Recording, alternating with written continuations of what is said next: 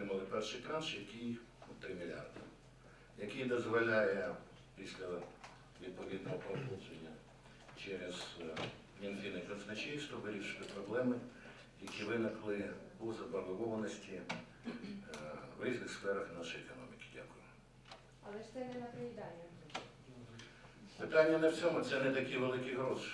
І проїдання не ми ну, вважаємо, що е, стипендія це не проїдання, це інвестиція в майбутнє, в тому числі і наше економічна.